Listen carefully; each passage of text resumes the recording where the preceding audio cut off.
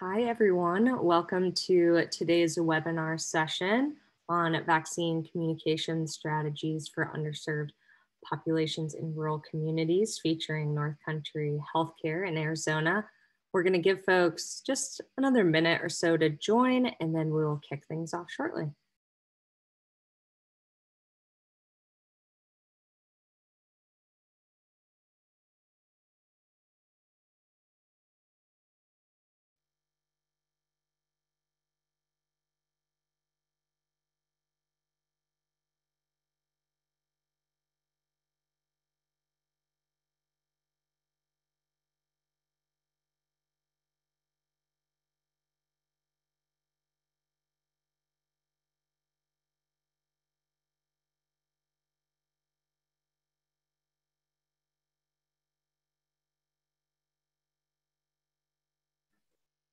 Great. Well, we will go ahead and get started with today's session.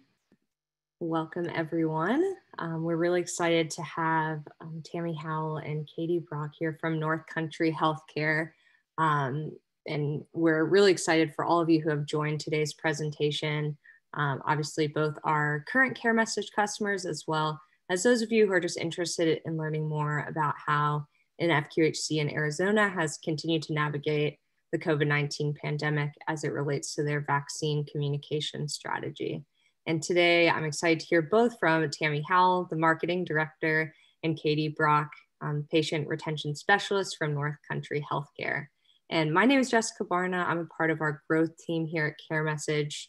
And for any of you who are not familiar with Care Message, we're a nonprofit organization that leverages technology to help safety net organizations across the country really just fulfill the essential needs of underserved populations. And we do this primarily with a text-based um, patient communication platform. Uh, and we have you know, FQHCs, free clinics, and other safety net organizations leveraging our platform and delivering at this point over 3 million uh, text messages related to the COVID 19 vaccine itself, which has been um, incredible to see. And so, a few quick logistics, please feel free to ask questions during the presentation, especially so you don't forget anything. Um, you can use either the chat or the Q&A box, um, which you should be able to see both um, on your Zoom window. And we'll do our best to get to everyone's questions at the end of the presentation. Um, and feel free to direct anything to either Care Message or the North Country team in particular. Um, so with that being said, I will go ahead and pass things off to Tammy. Thank you, Jessica. I appreciate it. Um, good morning or afternoon to everyone joining us. Um, we're glad to share our story and our journey through this, um, you know, craziness, all things COVID. Um, as uh, Jessica mentioned, we are a federally qualified health center. We are located in uh, Northern Arizona, our mothership, what we say the main location is in Flagstaff, but we serve 12 communities, and you can see there on the map. Um, and we have six counties that we also cover. So um, our service sites, we have brick and mortar locations, and we also have two um, mobile units. You can see a, a, picture there of the Sprinter van. We've got one that covers the central region, and then we've got one that covers our western region. Um, as you can see, a patient population, um, we've got 155,000 annual visits when we cover a lot of territory. So go ahead, Jessica, and advance the slide. So um, approach to our communication strategies, you know, of course, we utilized our website. We still manage that. There's a main page for all things COVID related. Uh, we've had to develop, of course, talking points, how staff communicate to our patient population. You know, we've had to um, mobilize curbside services, telehealth services, now being part as a vaccination um, distribution partner. So vaccines are new. We also were administering test, testing events, all kinds of things um, happening. Um, and then, uh, of course, um, we had you know, lots of incoming phone calls, as you can imagine. Most of you have probably experienced inundated with that. And then luckily, we've been able to utilize um, text messages for our communication strategies, which is what we're here to talk about today, um, and how we've used that to communicate um, our vaccine availability. Go ahead, Jessica, and advance the slide. So um, as you can imagine, our biggest problem and challenge was that we cover six counties. And as most of you know, um, vaccine distribution is based on, you know, comes to the from the state level, the state level down to the county level, and then county down into the municipalities. And so what was what's a challenge for us is that every county was in a different phase, had a different mode of distribution. Um, two of the counties in which we serve, we weren't vaccination um, partners. So that made it a challenge because we, um, you know, had to be very strategic and targeted around our communication. We just couldn't communicate to all patient population or community populations equally. Um, go ahead, Jessica. Advance the slide. So um, in order to, for us to do this and do targeted communication, we did have to develop, you know, everything run digitally from our website. We had to develop um, a pretty, um, I want to say, kind of complicated form, but it had a lot of uh, conditional logic built into it so that we could categorize individuals um, as they were um, inquiring about the vaccine through our site. One thing that I do want to um, highlight is that we did no paid advertising that we were a vaccine um, partner. So we were just a vaccine partner and our URLs to this web page and to our website were all placed on the county um, web pages.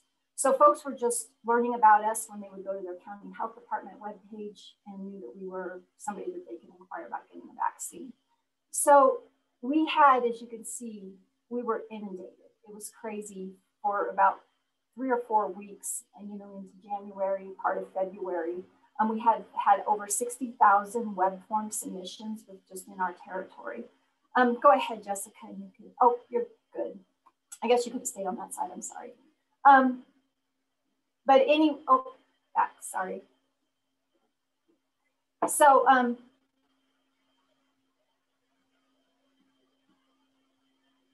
I'm sorry, go ahead. And so anyway, so we, um, I, I apologize here, clicking through, trying to keep track of my notes.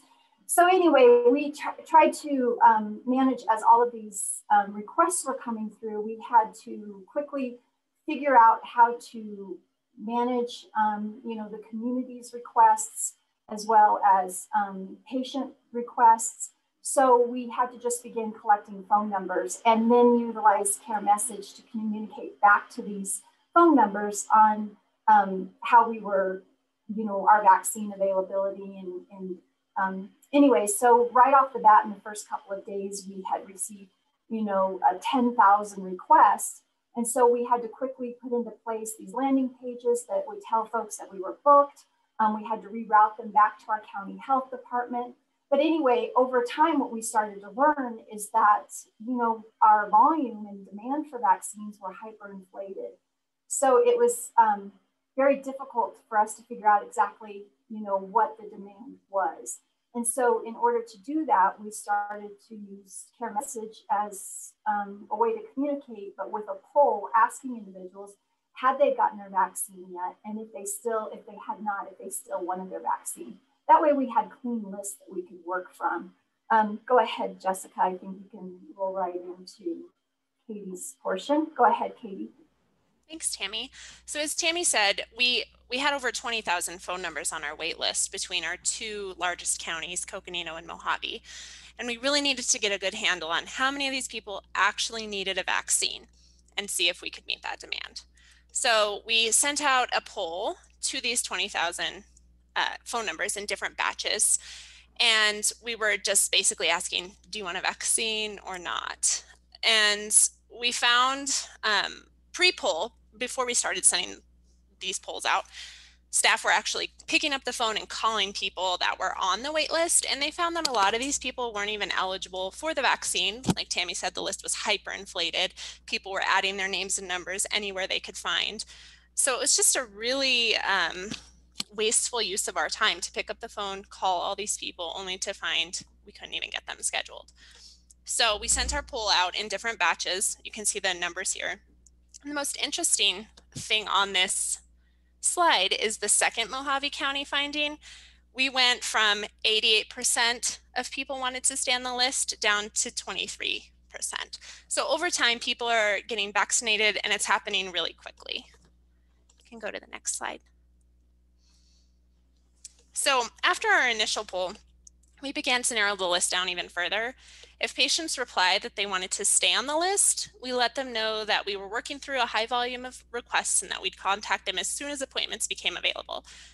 You can see that under the managing patient expectations example. And as the age groups were adjusted and different counties started to fall into different phases, we sent out more polls related to those specific eligibility requirements. For example, we asked our Mohave County waitlist if they were over the age of 55 and had had or were scheduled to have their vaccine. If they replied yes, we removed them from their list so they wouldn't receive any more communication. And if they replied no, we directed them to a new web form that we created that included screening questions to make sure that they were actually eligible. So once they got through the screening questions, they submitted a web form and then a staff member called them. They knew that that person had been vetted and that they were eligible to receive the vaccine.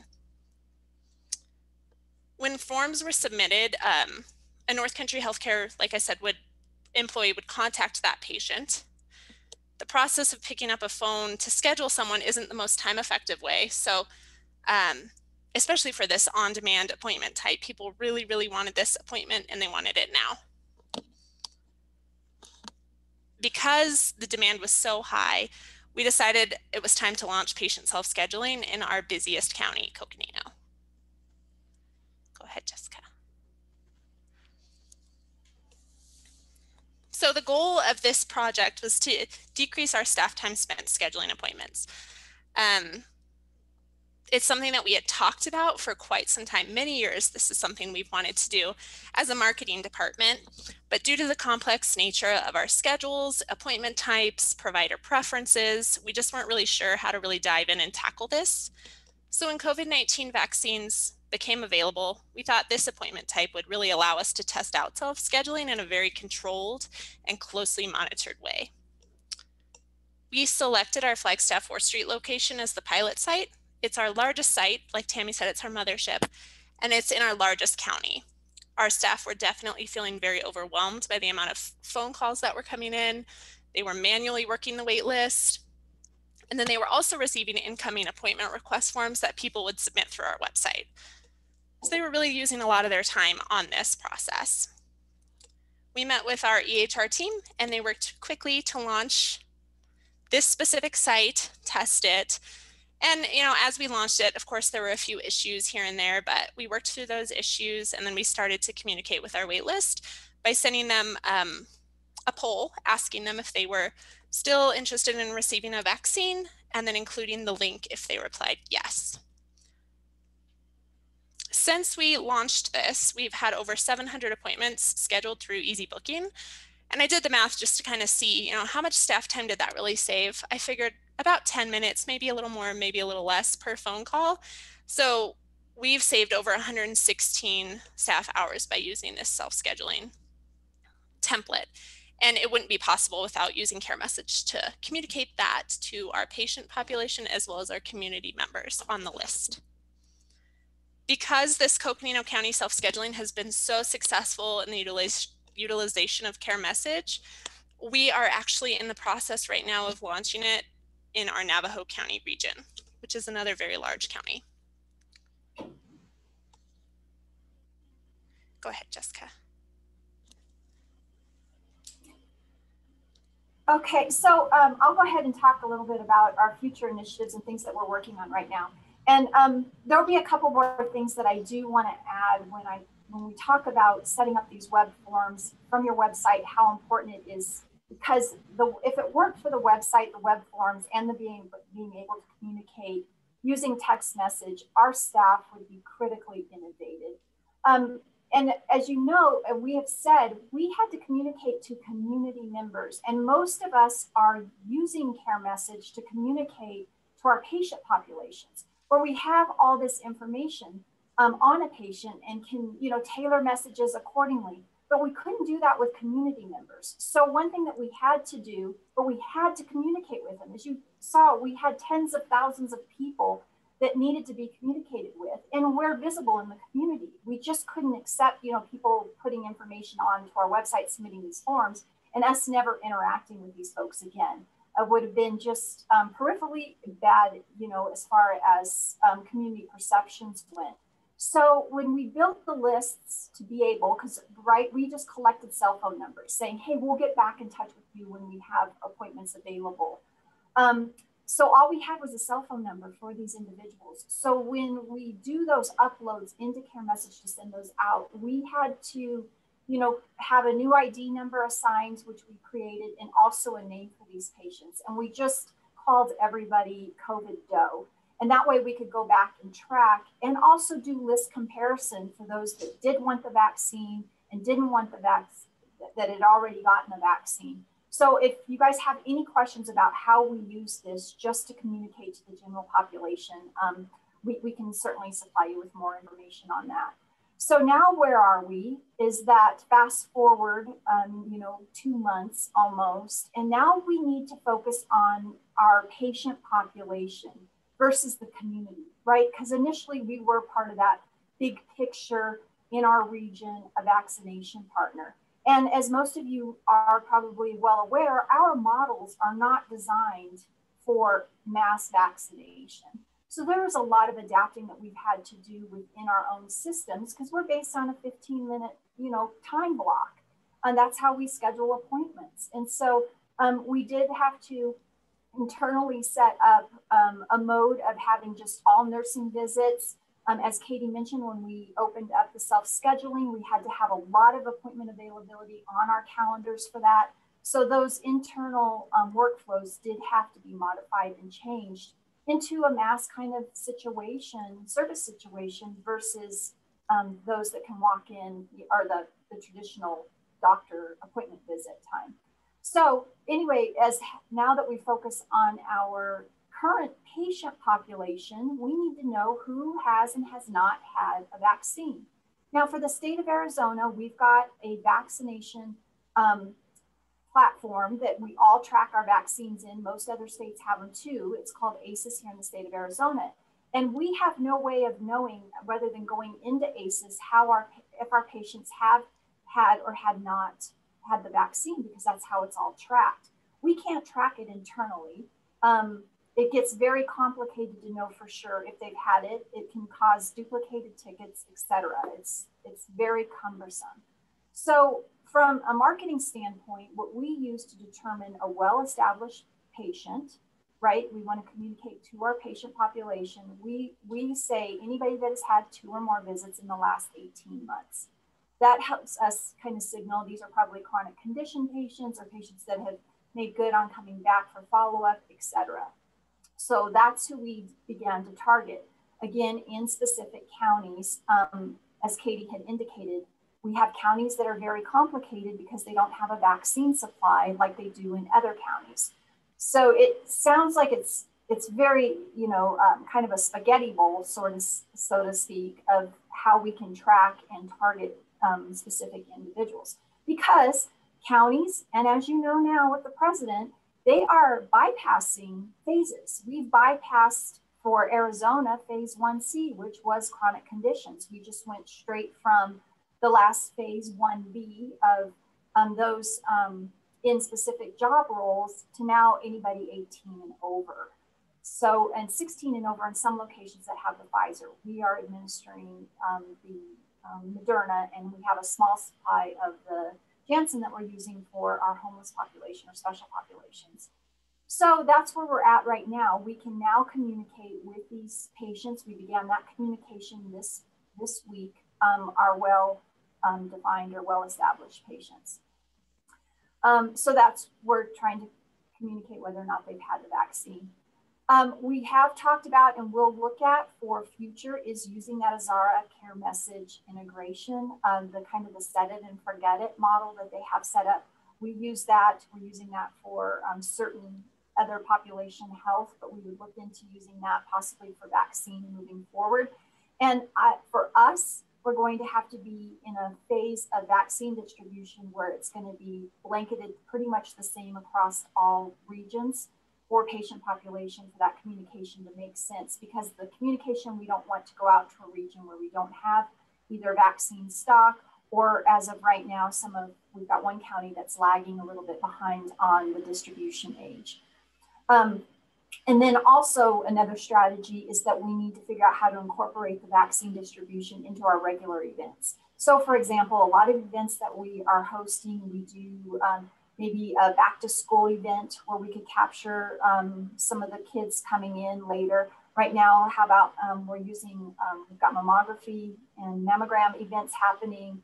Um, so those well woman events, and we can incorporate it into those. We've also got diabetes events that are happening and nutrition events, etc. So now we can try and figure out a way to just get shots in arms through some of those other methods of um, and then also definitely through well exams. Okay, I think I covered it. Katie, do you have anything to add? No, I think you did cover it, Tammy. The only addition I had was the well exams. That's something that we're also definitely working on is making sure as folks are scheduled for their annual well exam, um, we're very in tune with their vaccine status and we'll give it to them if they need it.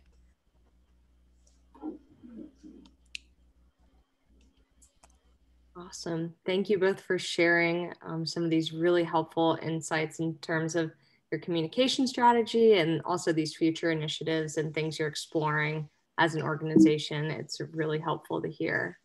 Um, I wanted to just briefly share, um, as some of you who are on um, today's session might already be aware of, we do have a publicly available um, COVID 19 vaccine message library and these messages have been developed specifically for safety net organizations to be able to leverage, um, especially, uh, I think even some of the messages, Katie, that you shared, um, some of the templates that you shared um, were from that library. Um, and so, in order to be able to create these messages in December, um, in really in response to to the development and distribution of the vaccine um, late last year, we as a team sought out the guidance from a group of experts who you know were working with underserved population in epidemiology vaccinology and public health really to in, in to provide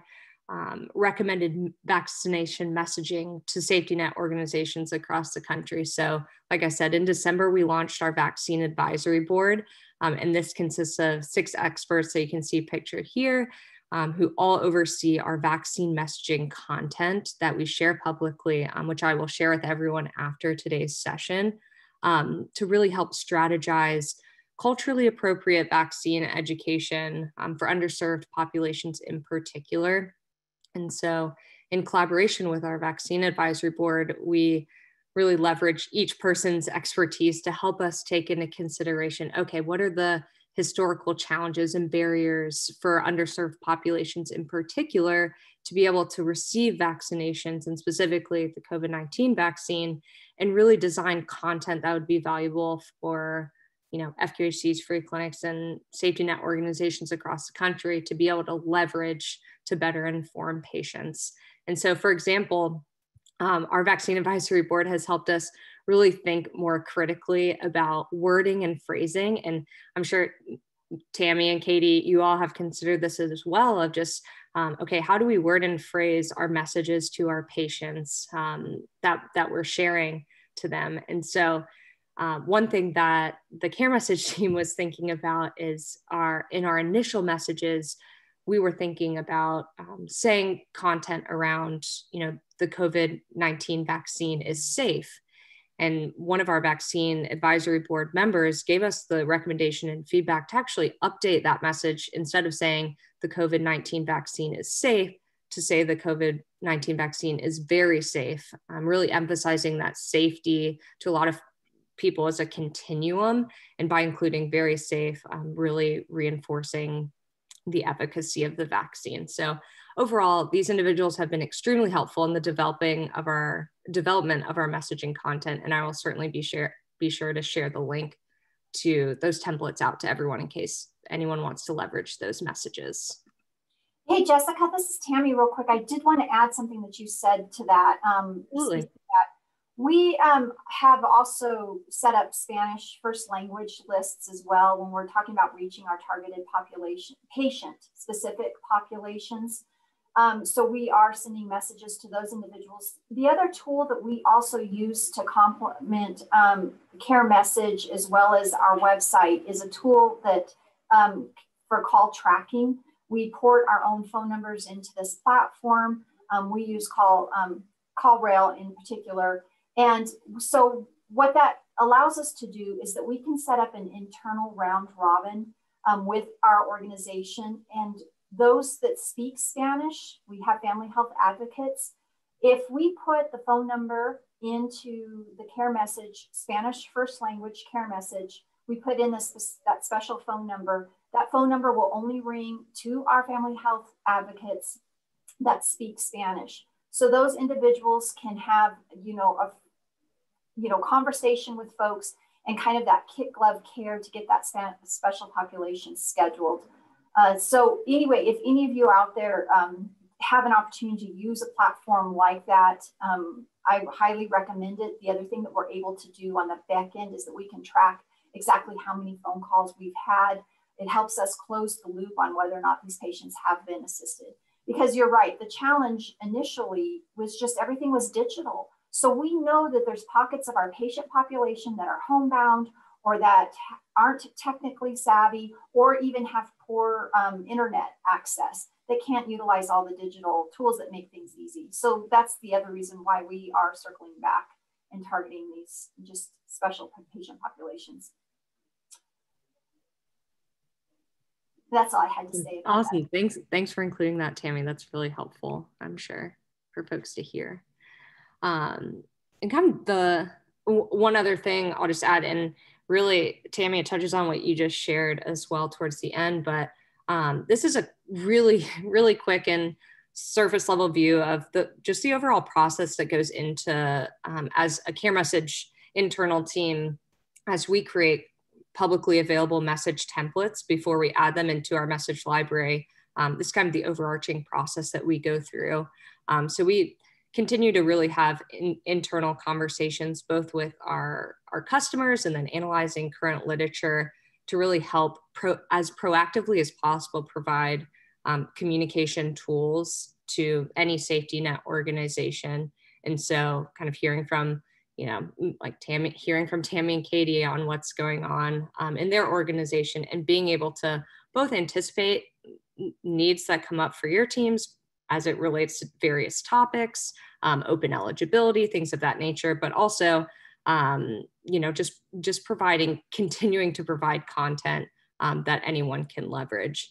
And so once that top the topics and kind of messenger messages are drafted, then we submit those both um, internally we get internal feedback and then we submit those to our vaccine advisory board for approval um, you know going through the process like i shared in the last slide of you know those experts being able to give feedback on the actual content and words within the messages.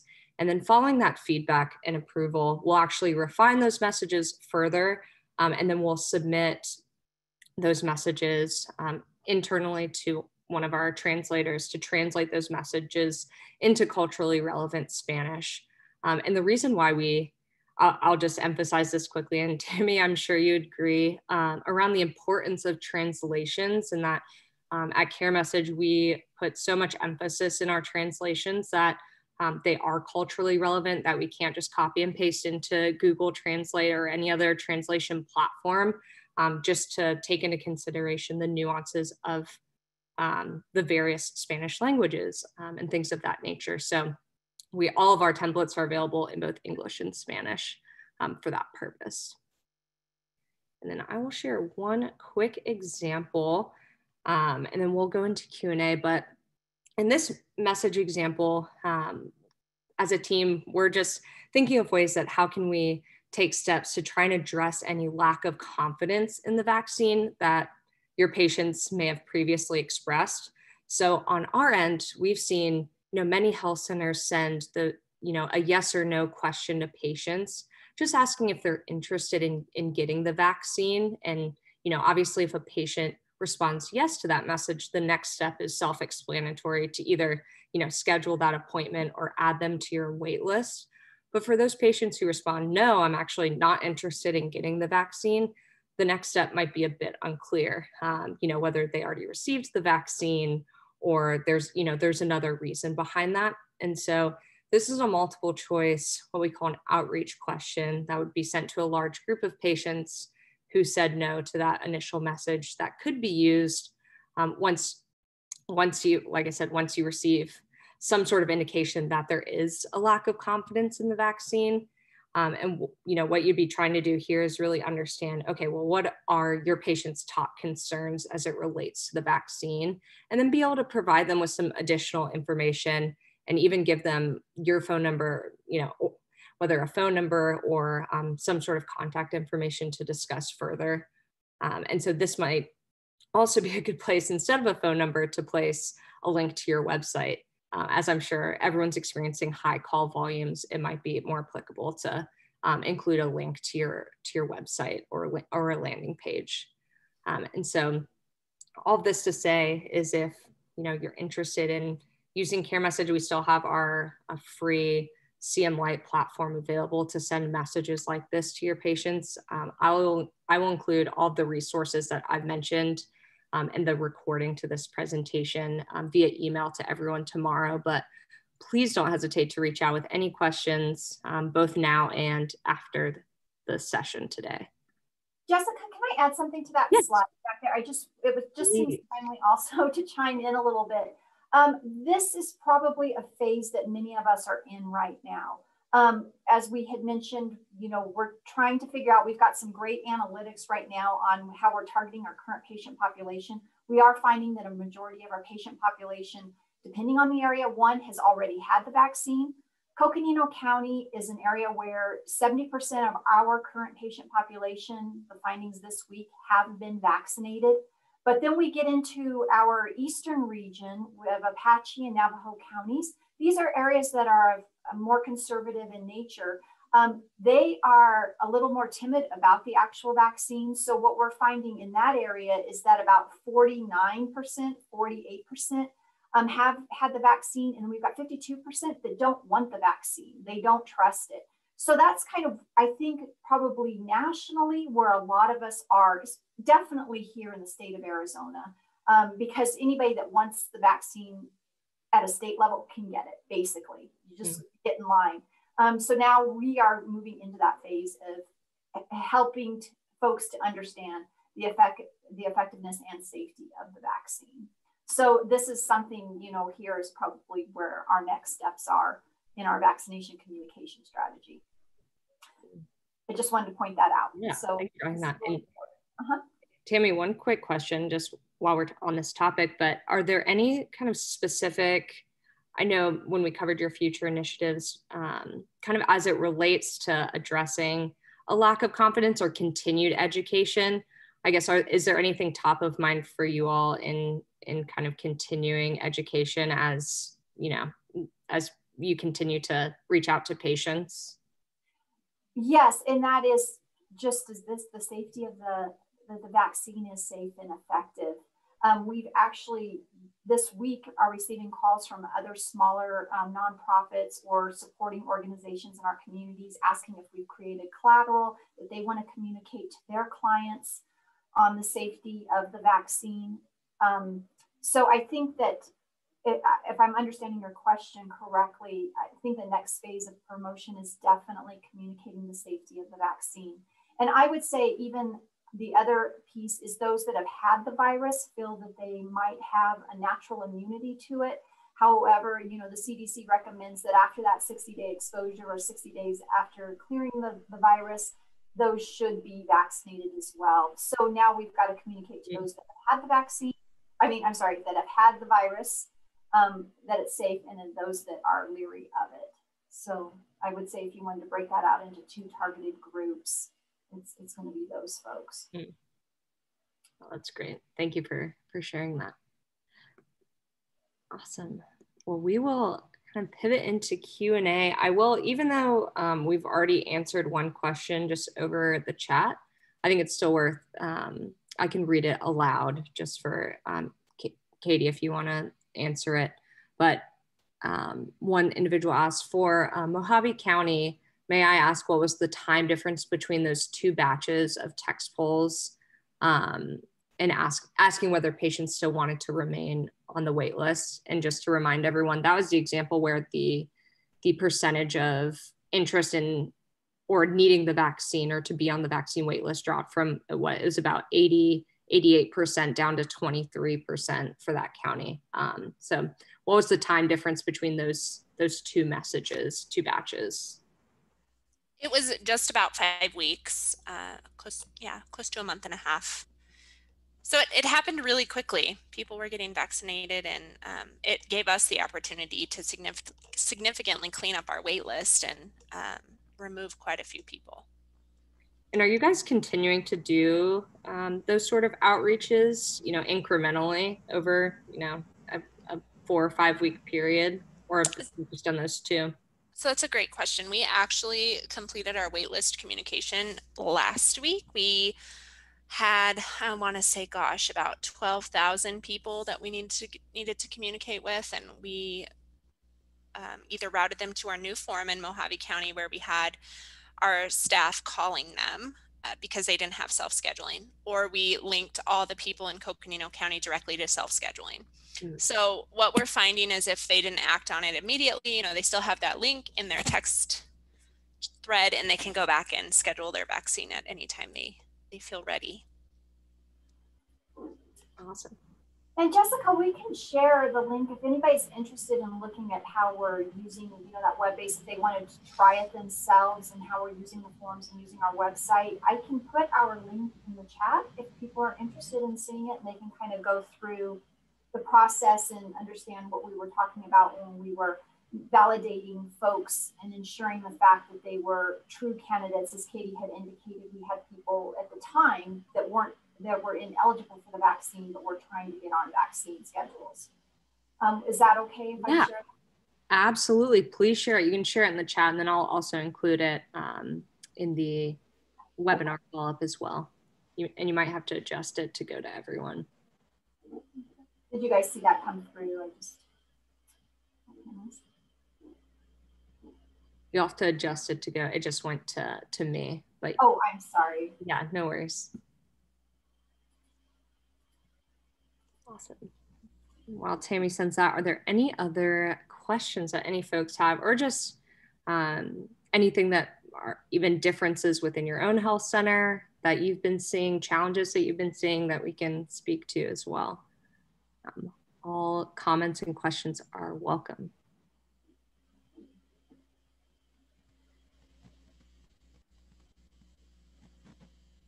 And while we wait.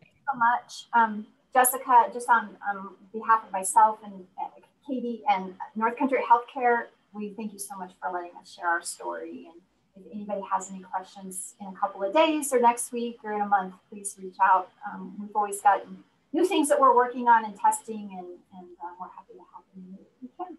Absolutely. Thank you both for joining. And yes, if anyone has any questions, come in, you can feel free. I'll, like I said, I will directly email each of you with the recording and some of the resources that were shared um, during today's webinar. And if there are any questions that come up for both Tammy and Katie, then I can forward those along to both of them. Um, so if anything comes up, please let us know. But that being said, I don't think we have any additional questions coming through. Just a few thank yous to you all. Um, and yes, my sincere thank you for joining us for this session. And yeah, really inspired by all of the work that you've been doing um, over the last few months and even even before that, but especially during this time. So thank you both for sharing and excited to continue to work with you both uh, moving forward.